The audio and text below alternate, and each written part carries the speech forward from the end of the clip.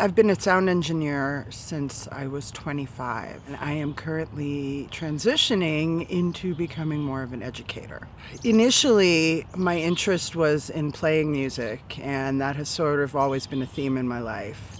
I figured be as close to what you love as possible, and so facilitating music has been a joy.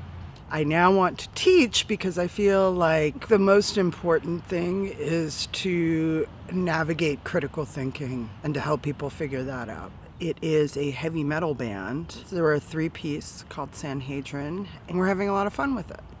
Interacting and being as much a part of your present, as open hearted as possible I would love to go hang out with the Stooges and the MC5 in Ann Arbor in the early 70s. I don't know if I'd survive it, but it'd be a lot of fun.